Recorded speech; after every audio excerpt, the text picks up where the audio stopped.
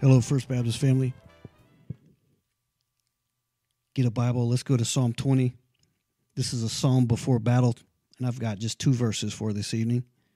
Thank you for uh, tuning in tonight on this uh, snowy winter storm weather that we're having. So, when bad things are closing in on you, what do you do? What do you do when you're anticipating circumstances that are really, really not good? Like in the new, near future, when perhaps fear and worry arises, or when they arise in your thoughts.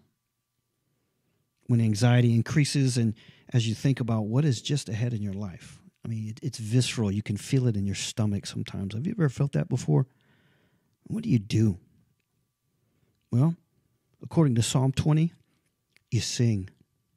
Yes, sing. And I'm not talking about turning on the Beatles or Elvis or Hank Williams, Junior or otherwise, Def Leppard or Journey. I'm not talking about turning on the, the Be Happy song. Do you remember that? Ain't got no cash, ain't got no style, ain't got no gal to make you smile. Don't worry, be happy. I'm not saying emotionally escape in music. I'm talking about singing a song to the Lord. Before the fight, sing. Before the battle, sing. When you're anticipating the fight, sing. When you're expecting potential loss, even the loss of life, sing. Now, you might be asking, okay, but what do I sing? You won't let me sing the Be Happy song or turn on some good 80s tunes that I like. You say don't escape emo- emotionally in music. What do I sing? This is what you sing. You sing the two verses that I have from Psalm 20. And you might be thinking, well, this is this is not practical, Mark. This is not practical. Yeah. Well, listen to wait wait until you listen to the historical context of this this song, Psalm 20. So let's begin by looking at the context of the psalm, and then uh, we'll dive in together. We'll read it, and then we'll look at these two verses. Okay. Um, before we get to the ancient and modern context, I invite you to look at the graphic which is on the back of your handout. It shows how the 150 Psalms uh, can be grouped by kind. And I've got a arrow there pointing to little Psalm 20 there. It's a royal psalm. You'll notice there's the praise psalms, the, the psalms of lament or trust and thanksgiving, etc. So you notice Psalm 20 here is part of the uh, genre or type of psalm that's called royal psalm, having to do with the king. Uh, by the way, did you notice on this which kind of psalm has the most uh, in the book? Is it praise? Most people think that there's more praises in the book of Psalms, but no. Look, it it's the, the lament. The lament song make up the most. Now, as it relates to the ancient context, one commentator I'm quoting here, he says, This day of trouble, which is found in verse 1, is one of impending battle, as the chariots of verse 7 make clear. The shape of the psalm brings the scene before us as the king prepares to march to war. His prayers and sacrifices are offered, his plans prepared, and his men grouped with their standards. It is one of the most stirring of the Psalms by its tense awareness of life and death issues soon to be solved. So, yeah, this is real practical. Its companion piece is the next psalm, All Exuberance and Delight. That's, that's Derek Kidner. Now, as it relates to our modern context, right? Tremper Longman, and I'm quoting him here, he says, The battlefield was the original setting for this psalm, which confidently asks God for victory in the face of an enemy. Today, the people of God are a spiritual entity the church, not a nation state with armies and physical enemies that attack it with swords, spears, or other physical weapons. Even so, he continues, the church and individual Christians are in a battle, not against flesh and blood, but against the rulers, against the authorities, against the powers of this dark world, and against the spiritual forces of evil in the heavenly realms. That's Ephesians 6:12. Against these enemies, the weapons we fight with are not the weapons of the world, according to Paul in 2 Corinthians 10, but rather we need divine power to demolish strongholds. And it is in this context of spiritual warfare that Psalm 20 retains its relevance in the life of God's people today. Again, that's Tremper Longman. All right, having said that, let's dive into the psalm itself. Notice, hear the word of the Lord beginning in verse 1. May the Lord answer you in the day of trouble. May the name of the God of Jacob set you securely on high.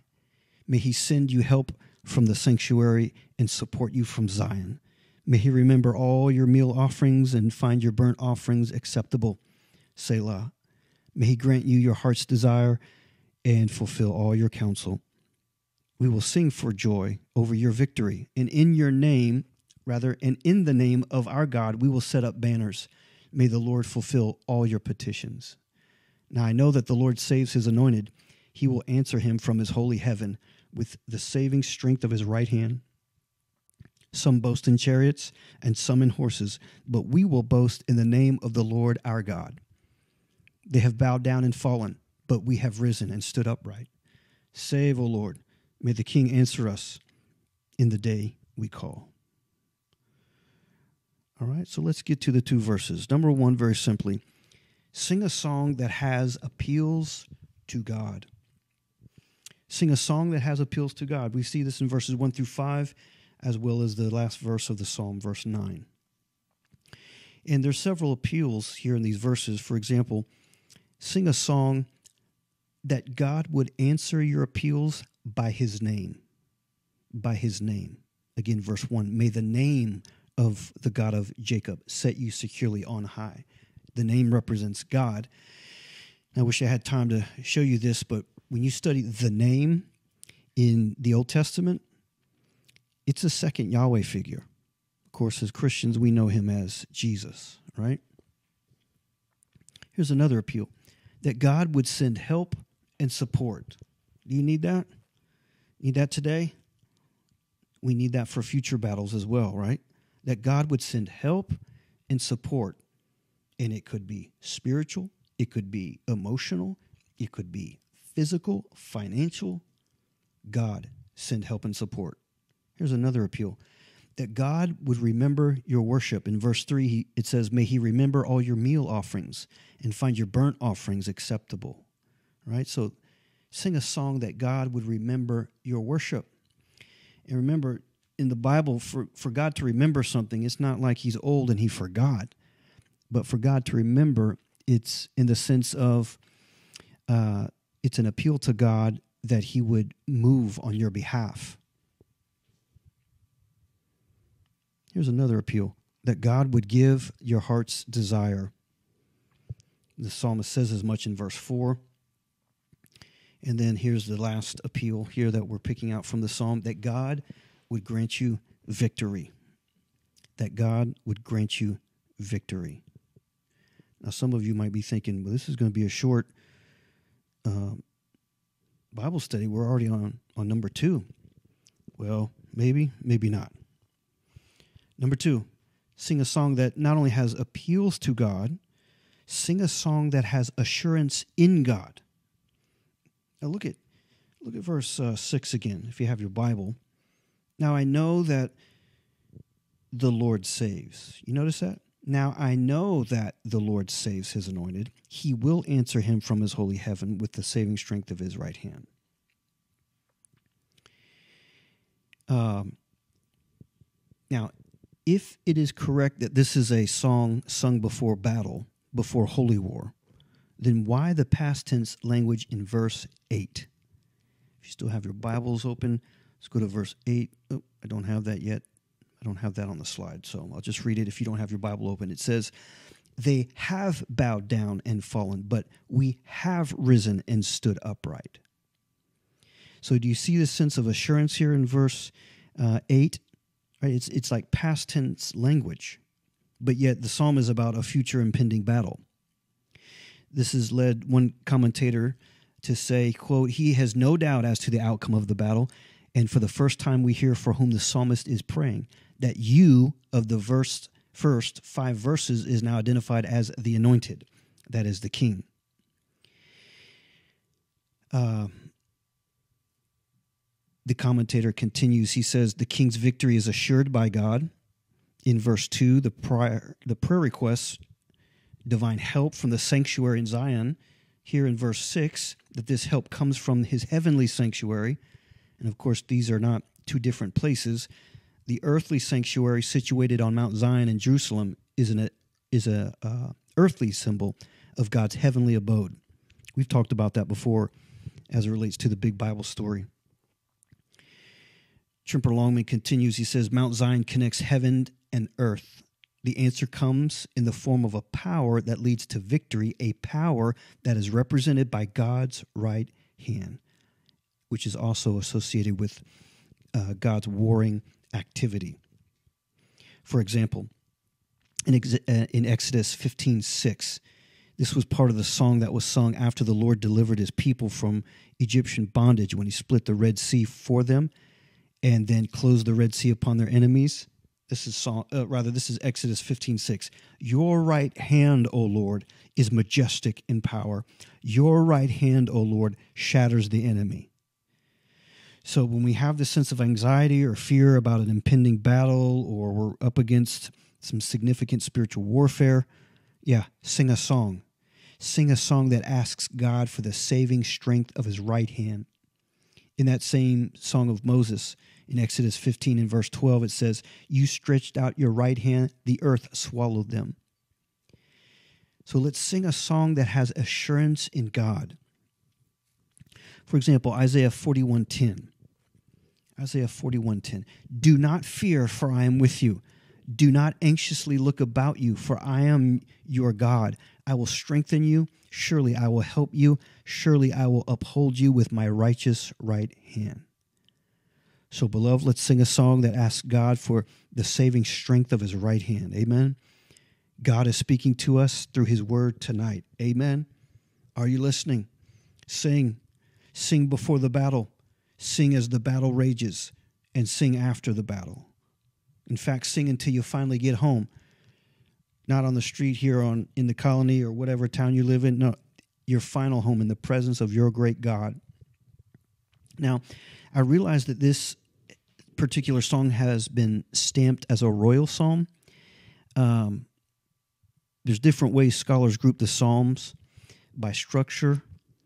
Um, I've showed you this one. It's a royal psalm. Here are the psalms divided by structure chiasm, acrostic, or strophe.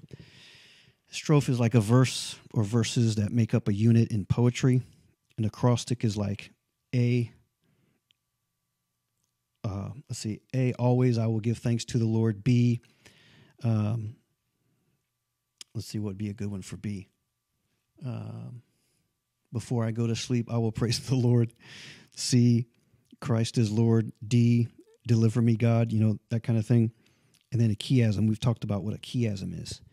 But so what my point is here is the more I looked at this psalm, the more I saw this as a chiasm in its structure. Now, if you notice in here, on the, the grouping of chiasm, there is no Psalm 20. There is no Psalm 20. It's in the, the larger section to the right, the strophe, if, I'm pronouncing that correctly. But I wanted to show you uh, visually why I think uh, this is a uh, there's some chiasm going on in this psalm. Uh, remember, a chiasm they didn't have a way to italicize or draw a line or bold. Uh, chiasm is a way to bring emphasis from a literary perspective, and you'll see here there's a huge chiasm in Genesis six. I've showed you this before, all the way to uh, chapter nine, and the chiasm is God remembers Noah. So that's one of the key huge theological truths about the flood story. God remembers Noah, right? And you'll see how each correspond to one another. The A, the B, the C, the D goes to the X, and then it goes back the other way.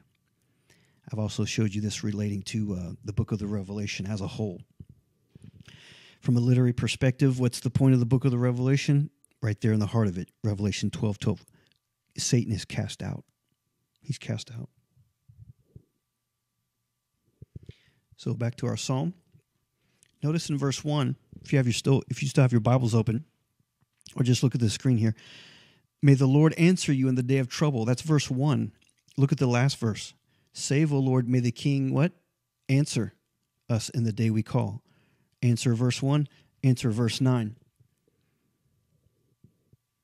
May the name of the God of Jacob set you securely on high. That's the second part of verse 1. And look at verses 7 and 8. Some boast in chariots and some in horses, but we will boast in what? The name of the Lord our God. So, verse 1b, you have the name of the God of Jacob. Verse 7, we will boast in the name of the Lord our God. The second half of 1b, may the God of Jacob set you securely on high. Look at verse 8. They have bowed down and fallen, but we have stood and risen upright. So you see how they correspond to one another? Next, verse 2 May he send you help from the sanctuary. Look at verse 6. Where does the help come from? Now I know that the Lord saves his anointed. He will answer him from his what? Holy heaven, the heavenly sanctuary. So you see a correspondence in verse 2, correspondence in verse 6. And of course, from a literary perspective, I'm saying this this might be the very heart of it. May he grant you your desires, your heart's desire, and fulfill all your counsel. We will sing for joy over your victory, and in the name of our God, we will set up our banners. May the Lord fulfill all your petitions. So, I don't know. I just thought it was interesting. I didn't see this in any commentary or anything, but it seems, if this is correct from a literary perspective, then the very heart of the psalm are verses four and five. And they seem to be a summary of the entire psalm to me. Okay? Well, let's go back to verse seven. Let's go back to verse seven here. Some boast in chariots and some in horses, but we will boast in the name of the Lord our God. If you'll notice that there the name of the Lord, again, stands for himself. And one scholar notes that the name is used in three ways in this psalm. This is insightful. I, did, I didn't see this. In verse 7, this is the third time it is used. And this one scholar, uh, Bullinger, Bullinger, he pointed out in verse 1, the name defends. Verse 5, the name is displayed. And in verse 7, the name delivers. So you have the name defends in verse 1, the name is displayed in verse 5, the name delivers. I thought that was great. I love that. Amen. God will defend you, beloved. God is displayed when he defends you, and it is in his name that we are delivered. Not by man's means, not by the ways of this fallen world. In the context of this psalm, not ultimately by the weapons of this world, such as chariots and horses. It's like uh, David uh, before he was king. You might recall he was he was a shepherd, right? It was what he learned as a shepherd that gave him confidence before that wicked Nephilim giant named Goliath. And do you remember what he said to that wicked thing before he cut his head off? Actually, let's begin with what the giant said first. Let's get a little context here. This is Goliath, that Nephilim he stood and shouted to the ranks of Israel and said to them, Why do you come out to draw up in battle array? Am I not the Philistine and you servants of Saul? Choose a man for yourselves and let him come down to me. If he is able to fight with me and kill me, then we will become your servants. But if I prevail against him and kill him, then you shall become our servants and serve us. Again, the Philistine said, I defy the ranks of Israel this day. Give me a man that we may fight together. What do you think the response is among God's people?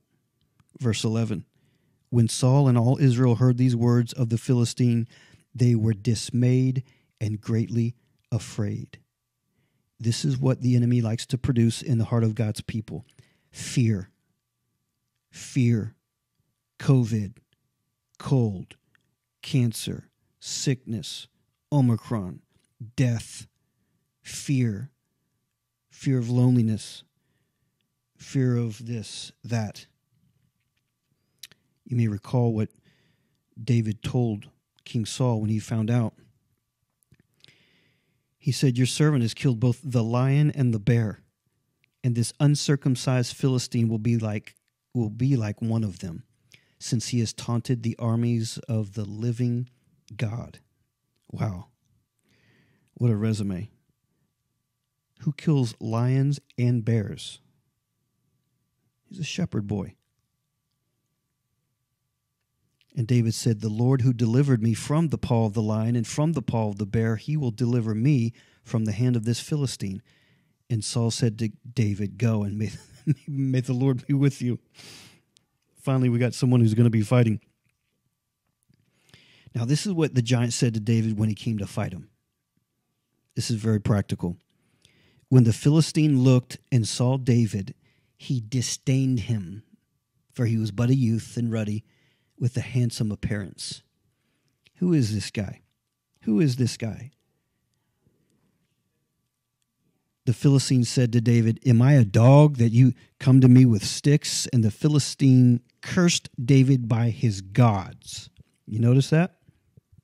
The Philistine also said to David, Come to me, and I will give your flesh to the birds of the sky and the beasts of the field. Then David said to the Philistine, You come to me with a sword, a spear, and a javelin, but I come to you, look at this, in the name of the Lord of hosts. You see that name again? The God of the armies of Israel, whom you have taunted. This day the Lord will deliver you up into my hands, and I will strike you down and remove your head from you and I will give the dead bodies of the army of the Philistines this day to the birds of the sky and the wild beasts of the earth, that all the earth may know that there is a God in Israel. By the way, no, I just noticed this. Notice in the middle of verse 46 I will give the dead bodies of the army of the Philistines this day. David knew, this is interesting David was not only confident that I'm going to kill you, but we're going to kill all of you. You see that? Never seen that before. Next verse. And that all this assembly may know that the Lord does not deliver by sword or by spear or by the right the, the ways of man. No, for the battle is the Lord's, and he will give you into our hands. Wow. So, as we close, beloved, what is the proper response to evil when there's an impending battle? When there, it seems like in the near future it does not look good, it looks like the enemy is going to win. There's going to be a fight. There's going to be a battle. When you're anticipating a, you know, a battle, or you're in one right now. According to Psalm 20, sing a song. Sing a song with appeals to the Lord and do so with assurance in your great God. Use the appeals in this psalm in your song and in your prayer time. Now, as a closing illustration, I want to bring in Second Chronicles 20. This is with in regard to King Jehoshaphat and the people of God. They were in big trouble. Big trouble. Look at verse 1. Now it came about after this that the sons of Moab and the sons of Ammon, together with some of the Meunites, came to make war against Jehoshaphat. I wish I could read this whole chapter, but basically, the king stood in the assembly of Judah and Jerusalem in the house of the Lord.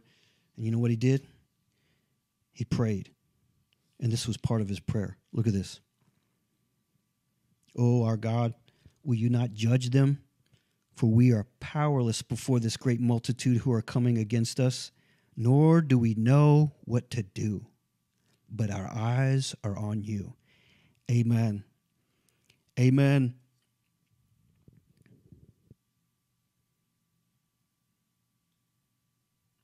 All Judah was standing before the Lord with their infants, their wives, and their children.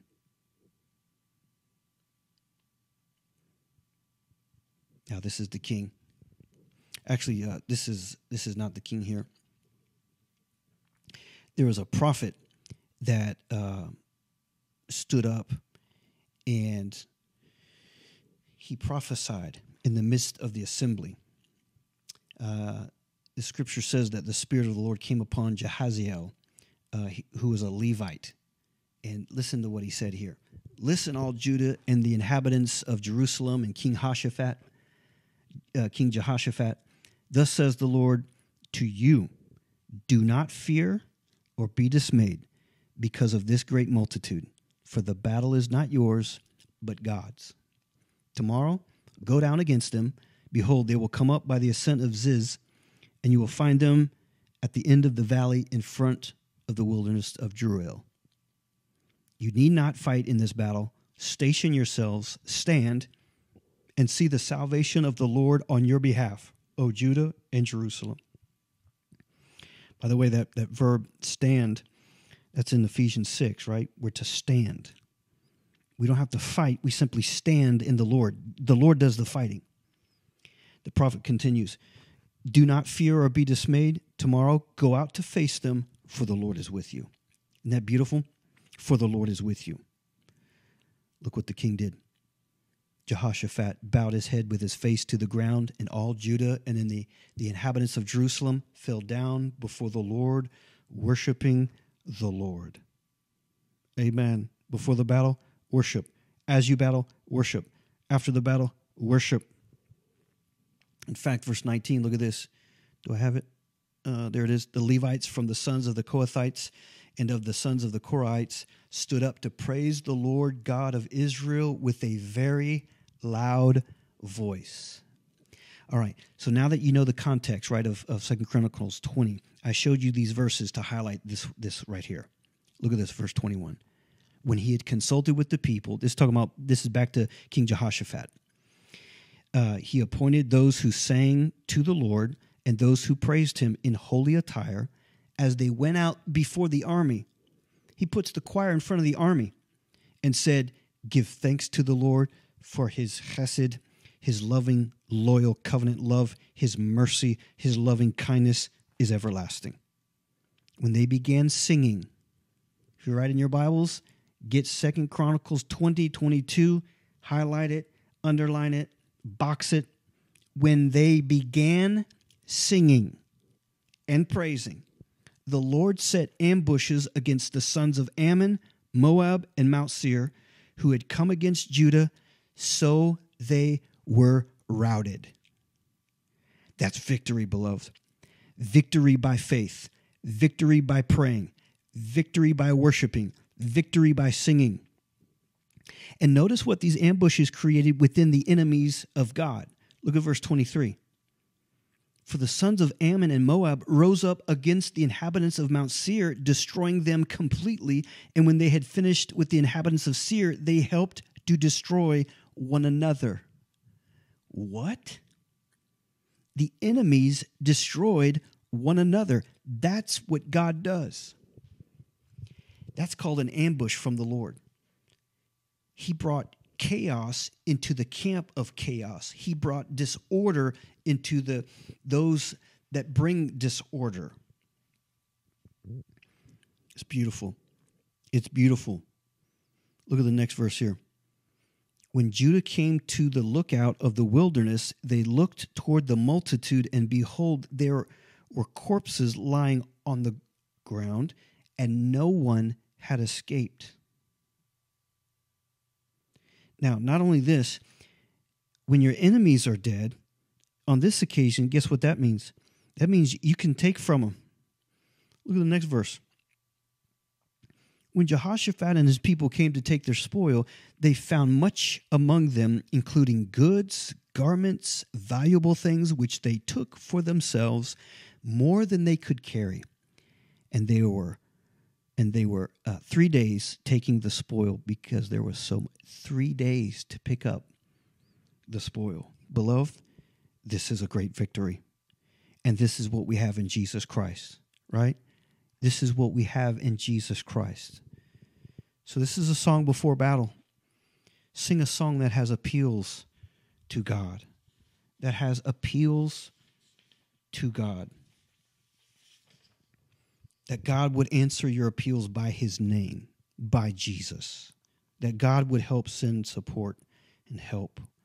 That God would remember your worship not just a cognitive recollection, but he would he would move on your behalf because of your worship that God would give you your heart's desire, that God would grant you victory. Sing a song that has appeals to God, beloved, and sing a song that has assurance in God. He will fight for you. You stand.